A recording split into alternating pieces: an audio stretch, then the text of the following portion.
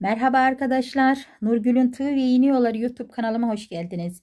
Eğer kanalıma abone değilseniz abone olmayı, emeklerim için de beğeni ve yorum yaparak bana destek olmayı unutmayın. Sağ alt köşedeki kırmızı abone ol butonuna basarak abone olabilir, zil butonu açarak da çektiğim videolardan ilk önce siz haberdar olabilirsiniz. Evet, bugün size Böyle gördüğünüz bu yağ yeşili rengi arkadaşlar ipimle şöyle aynı renkte olan bir tülbent fakat ışıktan dolayı bu şekilde çıkıyor. Tülbentimle birebir aynı renkte olan 732 yeşil numarası yağ yeşili diye geçiyor. Yine şöyle tek sıra tek renk kolaylıkla yapabileceğiniz bir model hazırladım size. Bakın bu şekilde. Çok hoş yapımı da kolay böyle çıtı pıtı tepelerinde minik papatyaları olan bir model. Evet modelimiz bu. Şimdi modelimizin anlatım kısmına geçerek nasıl yapıldığını tarif edelim. Evet ilk başlarken tığ battının içine sık iğne ile sabitleyerek başlıyoruz. Arkayı unutalım. Biz de ilk başlar gibi buraya sık iğne ile ipimizi sabitleyerek başladık. Bakın Şuradan başlama noktamız tığ battının içine sık iğne ile ipimi sabitledim. Bir tane zincirimi çekip şöyle ipimi uzatıyorum. Örümceğimin bu şekilde boyutunu ayarladım. Bakın. İpi uzattığınız boyut örümceğinizin ayar boyutudur. İki defa tığımı doladım.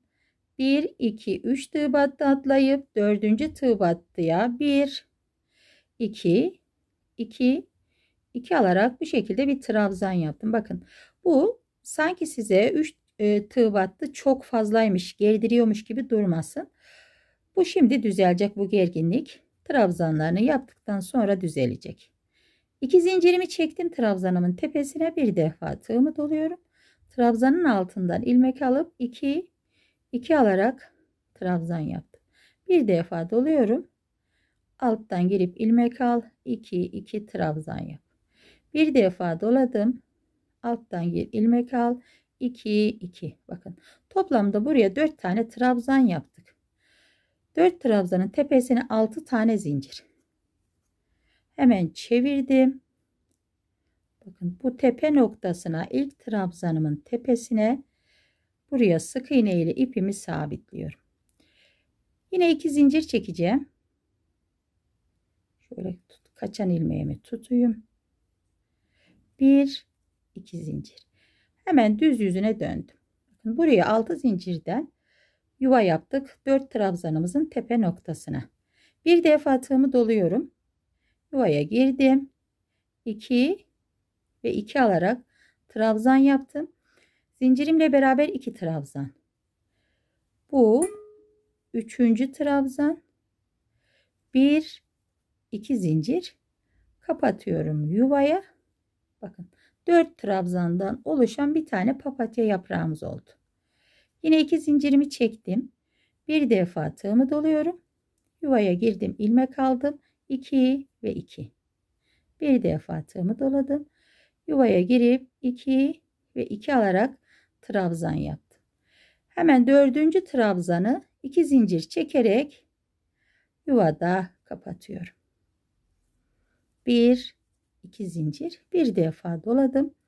Bakın minik minik buraya 3 tane yaprak yapıyoruz. Yuvanın içine girdim. 2 2 olarak aldım. Bir defa doluyorum.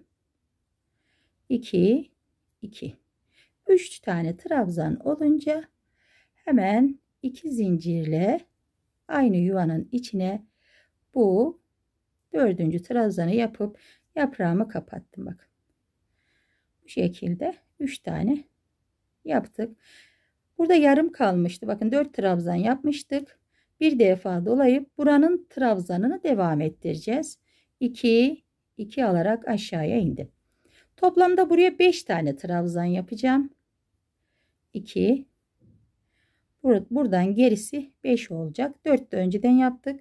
Toplam 9 trabzanımız. 2 2 bir defa doluyorum. Dördüncü trabzan bir defa doluyorum. Bu da 5. trabzan. Evet bu kadar. Şimdi bunu bir sonraki bakın dibine değil boş olan tığ battıya bu şekilde sık iğne ile sabitliyorum. Şöyle dibine de bir tane zincir çekelim. Yapmış olduğumuz çiçeğimize bakalım. Evet. Bakın kalıp gibi bir de yapımı kolay. Ben yavaş anlatıyorum anlaşılsın diye. Ama siz bunu 2 saniyede hemen yaparsınız. Bir tane daha yapalım. Yine dibine bir zinciri çektik. İpimizi uzattık. Bu ipimizin uzunluğu örümceğimizin boyutunu belirliyor. Evet kapattık. Bu boyutta bir örümcek yaptık.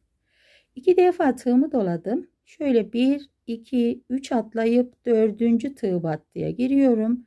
Şöyle bir, iki, iki, iki olarak trabzan yaptım. Evet şimdi iki zincir çekiyorum. Bir defa doladım. Trabzanın arasına giriyorum. 2 2. Bir defa doladım. 2 2.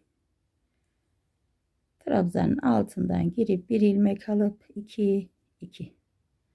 Evet bakın trabzanın tepe noktasına 4 tane trabzan yapıp 6 tane zincir çekiyorum. Çevirdim. Bakın ters tarafındayız şimdi. Buradaki ilk trabzanımızın tepe noktasına 6 zinciri kapattım. Buraya bir tane yuva yaptık. Bu şekilde. 2 zincirle düz yüzüne dönelim. Bir defa tığımı doladım. Yuvaya giriyorum. 2 2 alarak trabzanımı yaptım. Bir defa doluyorum. Yuvaya girdim. 2 ve 2.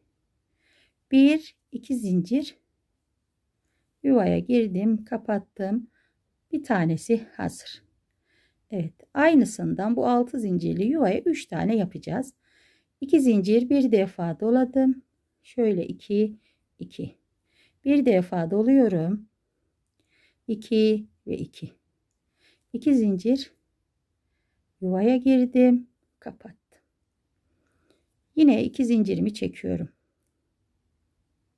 bir defa doladım. Yuvaya girdim. 2 2.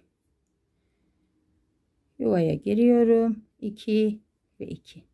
3 trabzan olunca hemen bu aşağı inişlerini gayet sıkı çekin.